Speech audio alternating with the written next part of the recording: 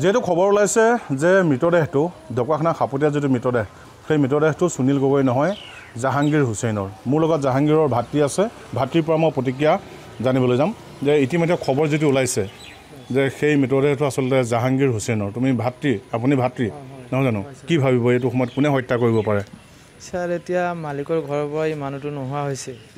এতিয়া কোনে হত্যা কৰিলে মালিকৰ লগত আমাৰ সম্পৰ্ক ভাল আছিলে কেতিয়াও বেয়াকৈ সম্পৰ্ক এটা হোৱা নাছিলে যে আজি গালি বা কিবা কিবি তেনেকুৱা হোৱা নাছিলে। কিন্তু এতিয়া মই কেনেকৈ ভাবিম যে আমাৰ মালিকে কৰিলে নে কোনো আন কোনোবাই কৰিলে এনেকুৱা শত্ৰু আছিলে মই কেতিয়াও নাজানো। নহয় মই এটা কথা সুধিছোঁ মই মালিকে কৰিছে নে কোনে কৰিছে মানে সুনীল গগৈ হত্যা কৰিছে বুলি মই ক'ব বিচৰা নাই। কিন্তু কথা হ'ল কি কোনে হত্যা কৰিব পাৰে? যে জাহাংগীৰৰ লগত কাৰোবাৰ শত্ৰুতা আছিলে নেকি? কিয় হত্যা কৰিব কৰিলে? জাহাংগীৰক কিয় হত্যা কৰিলে। কোনে হত্যা কৰিব পাৰে? আপোনাৰ মনত কি ধাৰণা হৈছে? মোৰ মনত তেনেকুৱা শত্ৰুতা আছে বুলি মই নাজানো ছাৰ। মানে মই একেলগে আছোঁ আজি ডেৰ বছৰমান হ'ল। কিন্তু কোনো শত্ৰুতা বা মোৰ লগত মানে মই নাজানোৱে তেনেকুৱা যে কোনো শত্ৰুতা আছে বুলি। আৰু সেইজন তেনেকুৱা মানুহো নাছিলে যে কোনোবাই যদি থাপৰিয়াই থৈ যায় তথাপি উঠি কথা কথা এষাৰ নকয়। কাৰ কথা ক'লে সেইটো? এইটো আমাৰ দাদাৰ কথা ক'লোঁ জাহাংগীৰৰ কথা। ই এনেকুৱা চাদা চিধা মানুহ আছিলে। আৰু জানিব পৰা মতে সুনীল গগৈৰ পৰা পাঁচ লাখ টকা পাবলৈ আছিলে নেকি আপোনাৰ দাদাই? আপোনাৰ জাহাংগীৰ আলীয়ে জাহাংগীৰ হুছেইনে পাবলগীয়া আছিলে নেকি পাঁচ লাখ টকা? এই কথাটো ইতিমধ্যে জাহাংগীৰৰ পত্নীগৰাকীয়ে দাবী কৰি আছে। আপুনি কি জানে? ছাৰ এতিয়া আমাৰ জাহাংগীৰ দাদাই ঘৰলৈ গৈছিলে ঈদত। ঈদত যেতিয়া ঘৰলৈ গৈছে হয়তো তাৰ মানুহজনে কৈও আহিব পাৰে। কিন্তু মোৰ জনামতে মই ইমানখিনি নাজানো। এতিয়া কাম কৰিছোঁ আজি এতিয়ালৈকে হিচাপটো হোৱা নাই। এতিয়া হিচাপটো হ'লে কিমান আছে কিমান নাই সেই বহীতে ওলাই যাব ছাৰ। এতিয়া হয়তো দাদা ক'ব পাৰে তাৰ মানুহজনীক যে মই তাত ইমান দিন আছোঁ মানে আগতে ধেমাজিত আছিলোঁ ধেমাজিৰ পৰা ইয়ালৈ আহিছে। ইয়াত ডেৰ বছৰমান হৈ গ'ল এতিয়া কিমান কি পাব লগা আছে হিচাপটো কৰিলেহে ওলাব। এতিয়া আকৌ সুধিছোঁ যে যিহেতু ডি এন এ পৰীক্ষাৰ যিটো G N D N A যিটো পৰীক্ষাৰ ফ হেৰি ৰিজাল্ট ৰিজাল্টে কৈ আছে যে মৃতদেহটো সুনীল গগৈ নহয় সেইটো জাহাংগীৰৰ। আচলতে আকৌ সুধিছোঁ যে জাহাংগীৰক কোনে হত্যা কৰিব পাৰে? আপোনাৰ মনত কি খেলাইছে কাৰণ একেলগে কাম কৰিছিলে আপোনাক দুয়োজনে। তেনেকুৱা মই কোনো মন্তব্য দিব নোৱাৰিম কাৰণ মই যিহেতু নেজানো। আৰু নজনা মানুহটো কেতিয়াও ক'ব নোৱাৰে কাৰ আন কাৰোবাৰ কথা ছাৰ অঁ, ইতিমধ্যে নাম প্ৰকাশ হৈছে নাম ওলাই আছে সুনীল গগৈ। বহু মাধ্যমত বহু সংবাদ মাধ্যমত এটা কথা আলোচনা হৈ আছে যে সুনীল গগৈ হয়তো হত্যা কৰিব পাৰে। আপোনাৰ মনে কি খেলাইছে সুনীল গগৈ সঁচাকৈ হত্যা কৰিলে নেকি? ছাৰ মই এইটো ক'ব নোৱাৰিম। এতিয়া মই এনেই এক নিৰ্দোষী মানুহক এটা দোষী কৰিব নোৱাৰিম। কাৰণ যিহেতু মই নেজানো কথাষাৰ আৰু কেতিয়াবা মই বেয়া ব্যৱহাৰ তাৰো দেখা নাই। আমি তিনিটাই নিজৰ ভাইককে লিখিয়াই আছিলোঁ। তেওঁ মালিক হ'লেও কেতিয়াও আমাক বেয়া ব্যৱহাৰ কৰা নাছিলে। মানে সুনীল গগৈ। সুনীল গগৈ। এতিয়া মই কেনেকৈ ক'ব পাৰিম যে সেই মানুহটোৱে এই কামটো কৰিছে বুলি? এতিয়া সেই মানুহটোক বিচাৰি আনি আপোনালোকে পুছতাছ কৰক বা হেৰি কৰক যদি প্ৰমাণ ওলাই যায় তেতিয়াহ'লেহে মই ভাবিব পাৰিম সুনীল গগৈ এনে লেনদেনত কেনেকুৱা আছিলে? যে যিহেতু কাম কৰিছিলে কাম কৰিছিলে আপোনালোকে যথেষ্ট টকা পা লেনদেন হৈছিলে তাত।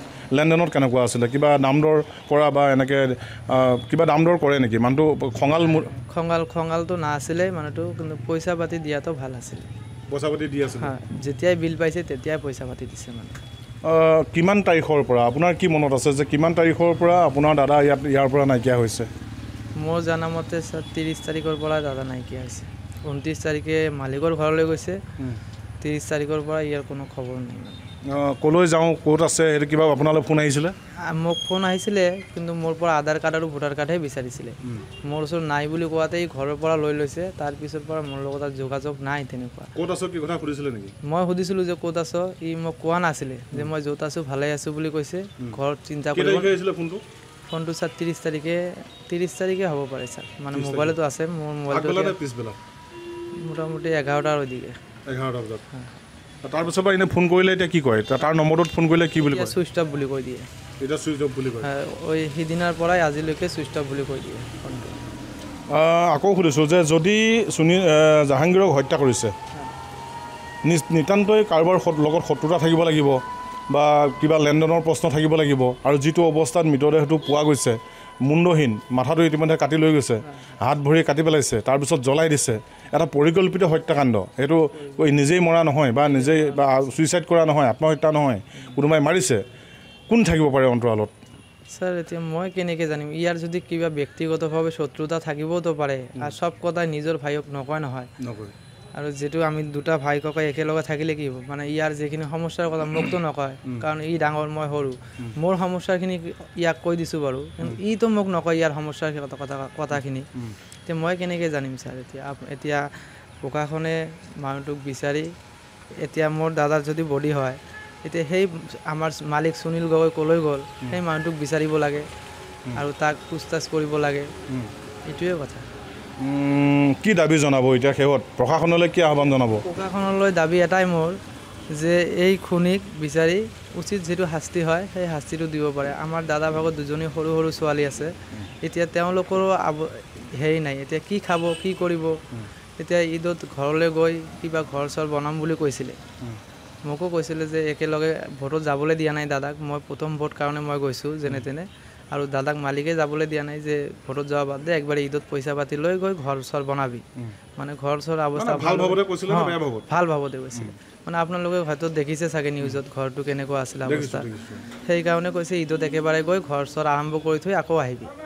সেইটো হিচাপত এতিয়া আমাৰ দাদাই নগ'ল ভোট দিবলৈ যে এই যোৱা কালি ঈদত ঘৰলৈ গ'লহেঁতেন। তাৰ আগতে এইটো ঘটনা হৈ গ'ল। এতিয়া যিখিনি হেৰাব লগা হেৰালোঁ এতিয়া হিচাপ কৰি যদি যা দুই চাৰি টকা পাবলৈ আছোঁ এতিয়া হিচাপটো কৰি মোক দিলে মানে আৰু এই কাগজখন অহাৰ পিছত যদি আমাৰ দাদাৰ বডিয়ে ওলায় সেই বডিটো দিলে মই ঘৰলৈ যাম আৰু প্ৰশাসনৰ ফালত এটাই দাবী যে এই এনেকুৱা যাতে আৰু কোনোবাত নহয়